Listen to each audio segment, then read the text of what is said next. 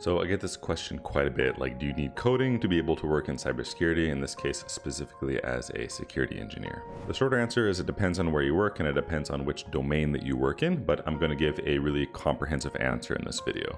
And at the end, I'm going to talk about the experience I had interviewing at Amazon as a software security engineer as that L5 position might shed some light on things. So when you say coding, right, do you need coding to work in cybersecurity? It kind of depends on which level of coding you're talking about. So for example, you can can have no coding skill, where you just have no idea, code literacy, which means you can kind of interpret basic code, code modification, which means maybe you can modify a script that you downloaded or that exists already to do what you needed to do. You could have a basic coding level, which means you can maybe create simple scripts or something like this. You could be at an intermediate coding level, which may be considered like a junior dev.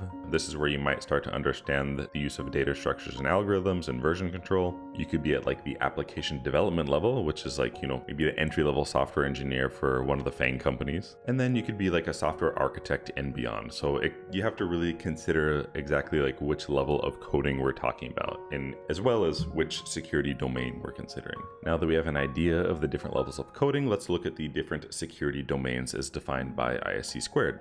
For security and risk management, you can probably get away with not being able to code at all, but having some code literacy, like being able to understand simple code, might come in handy now and then. Same thing with asset security, you can probably get away with not being able to code. It just kind of depends on where you work and what you're doing, because if you're dealing with a lot of software assets, you may need to be able to interpret code sometimes in order to help address certain vulnerabilities. It just kind of depends on where you work and what you're doing. For security architecture and engineering, you're probably going to need at least an intermediate level of coding all the way up to architecture because you're probably going to be doing some kind of threat modeling in terms of like software applications or systems and you're probably going to need to understand some systems design components as well so at, at least intermediate level of coding for this. For communication and network security i would say at least be able to interpret code but i'd recommend being able to write basic scripts and this is because uh, sdn like software defined networks is in use so more than likely you're going to have to interpret some code somewhere if you're working in this domain. But I would recommend being able to write basic scripts at least.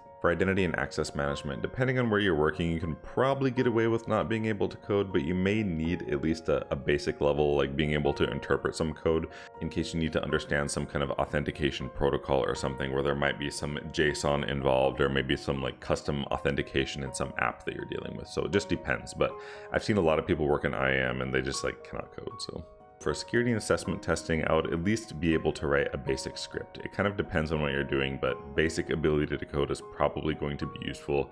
If you're doing some kind of a automated test, you may need to you may need to write some kind of script to do something. So this could range all the way up to full-on application development level. It just kind of depends like where you're working and what you're doing.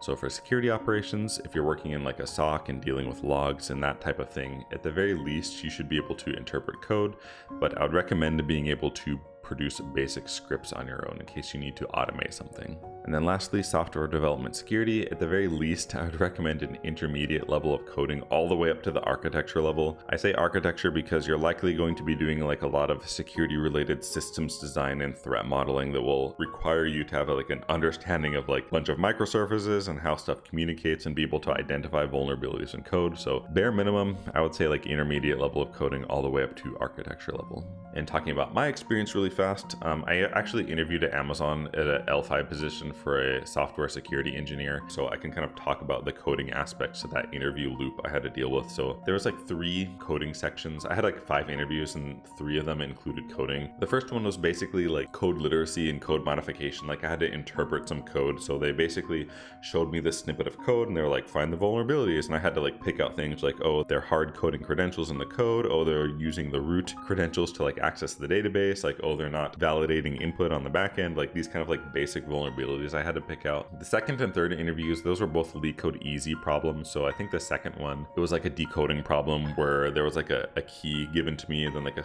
a binary string and I had to like decode the binary string, but it was like a basic loop and pattern matching. It was pretty easy.